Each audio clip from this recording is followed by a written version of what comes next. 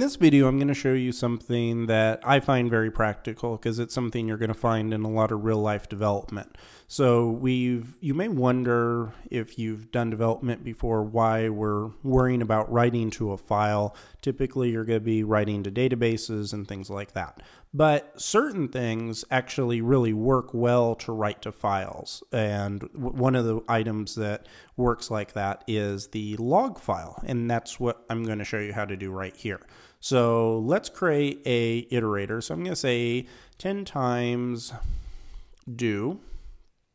And here I'm going to set up a sleep call. So I'm going to tell it to sleep for one second because I want to actually mimic some different times because we're going to be using our logger with having specific times on it. So I want each of the time uh, timestamps to be different. So I'm going to tell it to sleep for one second. Going to give us some debugging output here. I'm going to say record saved. So that'll go through each iteration.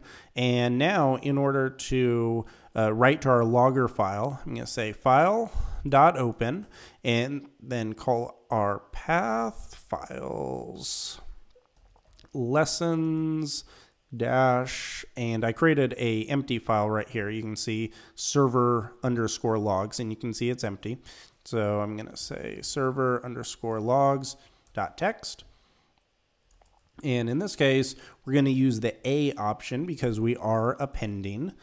And I'm also going to make, yeah, word wrap setup. So just continue the next line automatically. And now needs a block.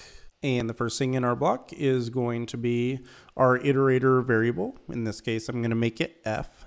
And I'm going to say F dot puts and say server started at and I'm going to use some string interpolation here and say time dot new. Okay, perfect. So I'm pretty sure this should be everything I need. So I'm opening a file. I'm giving the option of appending to whatever is there. And then I'm passing in this block where I'm going to say server started at and then give it a timestamp and I'm doing that 10 times and giving it a one second break in between each one. So let's see if this works. So I'm going to say Ruby uh, file lessons and then appending to file record save, record save. It should go through, hit this 10 times. Perfect. And now let's see if our file has that. Go to server logs and there you go. You can see it says server started at and then it has each one of these with a different timestamp. So this has 10 records, which is cool. But now let's see if we can append to something that's pre-existing. So all of this is the same. So let's just come back, run it one more time.